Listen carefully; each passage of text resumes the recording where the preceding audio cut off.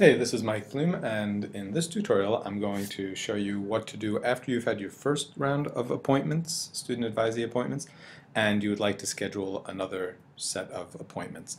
Um, you can either reuse the appointments that you originally had by changing the dates, uh, or you can create whole new appointments.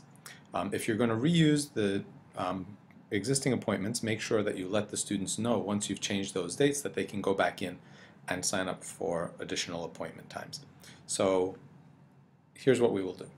Um, um, I will go into the first appointment, for example.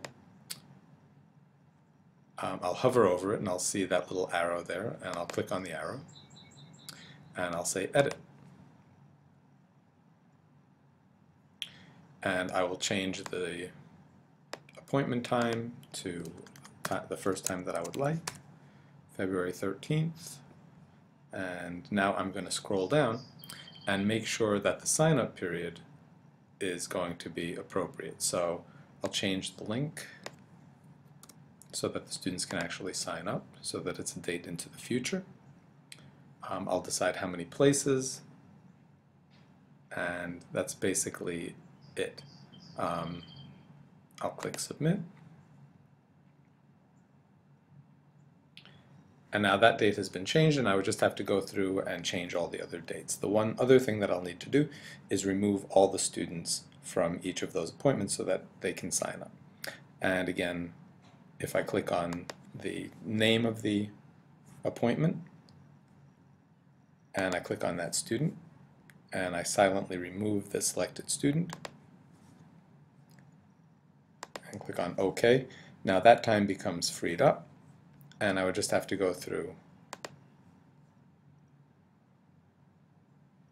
and do that with each of the listful appointments. And I'd go through. I could remove the student first before I change it, it doesn't matter. Silently remove that student. Click on OK. And now I can go back in and change that date. Make sure you change the date so that students know. So remember to change the date, you hover over the appointment, you'll get that um, downward arrow, click on edit,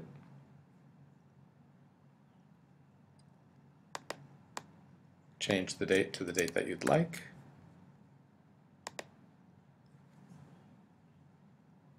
and now that one's all ready to be um, re-accessed.